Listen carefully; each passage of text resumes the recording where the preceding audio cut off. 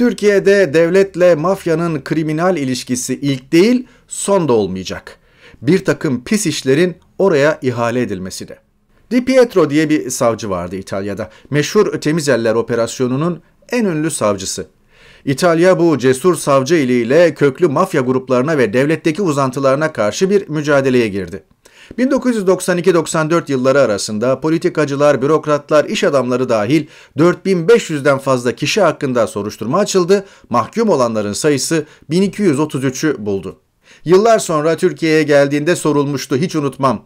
Bugün İtalya nasıl? Cevap o günkünden beter.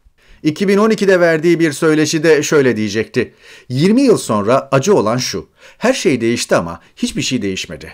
Dün iktidar paraya erişim için kullanılıyordu. Bugün para iktidara erişim için kullanılıyor. Roller ters yüz edildi. Haliyle 1996'da Susurluk kazasının ardından İçişleri Bakanlığı'ndan istifa etmek zorunda kalan Mehmet Ağar, bugün dönemin en kudretli isimlerinden biri haline geldiyse tarihi bir döngüdür bu. Türkiye'deki durumun vahim tarafı ülkenin tam anlamıyla suç devletine dönüşmesi. Tepeden tırnağa tüm idari ve toplumsal mekanizmalar bulaştı buna. Şebekenin başı olan iktidar ve sahipleri ise ne çeteleri yönlendirebiliyor ne de kriz yönetimi yapabiliyor. Ülkeyi yönetmek gibi bir dertleri hiç olmadığı gibi şimdi kendi mafyatik örgütlenmelerini dahi çekip çeviremiyorlar. Son gelişmeler gösteriyor ki Erdoğan iktidarı hemen her alanda çöktü. Partisi propagandayı eline yüzüne bulaştırdı. Bir çizgi filmin bile arkasında duramadı. Salgınla mücadeleyi bırakın günü kurtarma genelgeleriyle işler hepten sarpa sardı. İşsizlik, enflasyon, buna bağlı intiharlar yayın yasaklarıyla perdelenmeye çalışılıyor.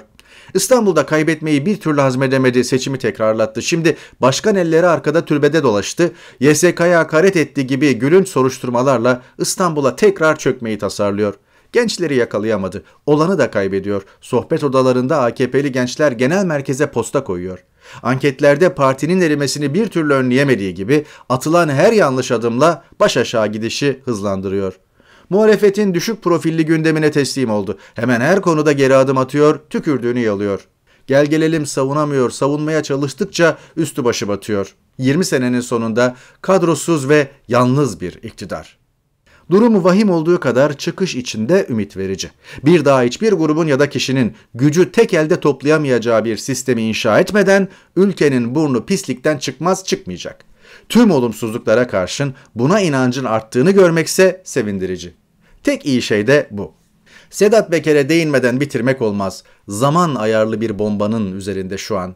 Tek tek kabloları kesmekle meşgul. Hangi rengin bombayı patlatacağını ise çok iyi biliyor.''